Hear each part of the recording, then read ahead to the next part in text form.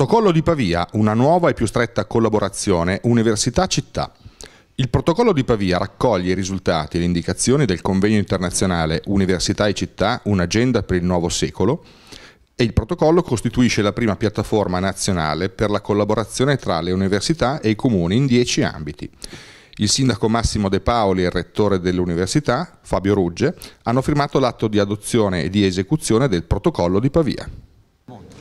Sì, questo protocollo contiene alcune indicazioni per le relazioni tra le università e i governi locali, è stato adottato dalla conferenza dei rettori delle università italiane e dall'ANCI, quindi ha una capacità di espansione su tutto il territorio nazionale, ma noi eh, vediamo già che sta cominciando a viaggiare all'estero proprio sotto questa denominazione di eh, protocollo di Pavia.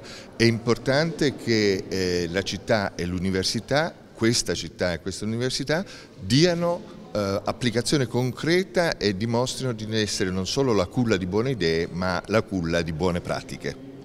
Eh, le iniziative eh, sono indicate nella eh, convenzione che abbiamo appena firmato e che ha sorpreso, ha isolato alcuni dei punti del protocollo perché noi vogliamo darci degli obiettivi realistici.